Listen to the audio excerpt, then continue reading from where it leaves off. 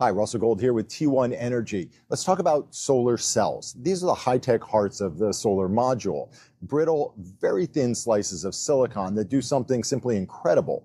They capture photons, the energy-rich packets of light from the sun, and convert them into usable energy. The US has only 13 gigawatts worth of solar cell manufacturing, and most of it relies on older technology that's frankly been around for a while.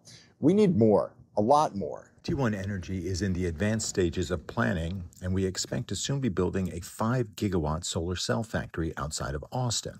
That will produce cutting edge TOPCon cells. And we have some big news. We just announced that we're acquiring an equity stake in Talon PV. Talon is a US based private company that's building a 4.8 gigawatt solar cell factory right outside of Houston. So think about that. Today, there are only 13 gigs of solar cell manufacturing here in the United States. These two projects separately will add another nearly 10 gigawatts of solar cell manufacturing. Look, we're bullish on American solar.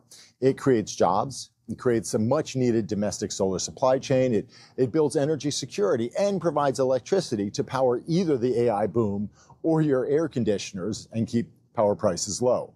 T1 Energy, it's time to build.